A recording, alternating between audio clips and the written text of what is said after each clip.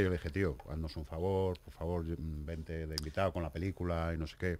Y me dijo, lo tengo aquí, lo voy a leer, si no te importa. Adelante, adelante.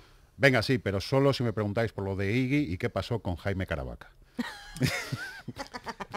Esto lo dice como una broma, pero es que la Eh. semana, la sem- el día siguiente que había a una, una pequeña movida que hubo en la resistencia, Sí. me dice, ¿por qué no te vienes a otra cosa que tú tenías un podcast y tal? Vas, una cosa entre amigos, relajado, no sé qué. Y según me siento, lo primero que me pregunta, oye esto, ¿qué pasó?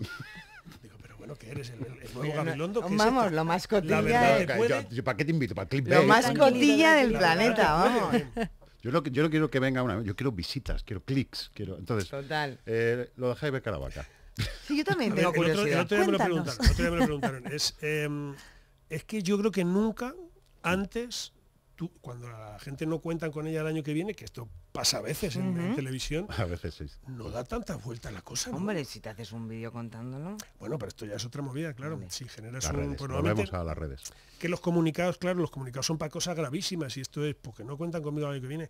Si tú y yo, cada vez que no hubieran contado con nosotros el año que viene, o la semana que viene, Estaría- o no sé qué, sería hubiéramos todo hecho comunicado, un vídeo, sí. a lo mejor teníamos un porcentaje ahora mismo de YouTube, éramos accionistas. Claro. Es ¿Esa es tu respuesta?